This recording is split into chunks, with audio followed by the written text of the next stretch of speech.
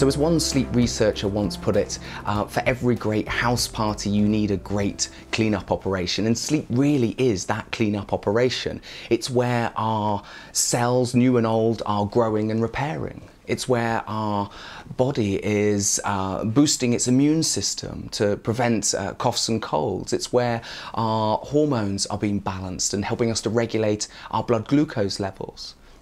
So I, I, believe that if you are really passionate about improving your, your health, your diet, your fitness levels, then you really should start by ensuring that you get good quality regular sleep. When we consider what is good quality sleep, we know that we sleep in cycles which are an hour and a half to two hours long.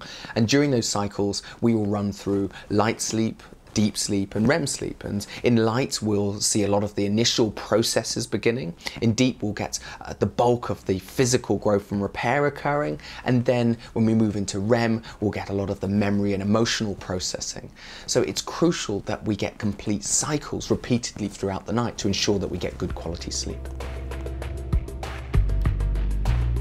For me, sleep is one of the most exciting areas of research simply because we still don't know a huge amount about sleep, uh, what it is, and its role. And yet, what we are learning is that it appears to play a fundamental role in our mental, emotional, and physical well being. And I think in time, we're going to realize that actually it, it is truly a, a, powerful sort of performance enhancer that we can all use to uh, the betterment of our lives.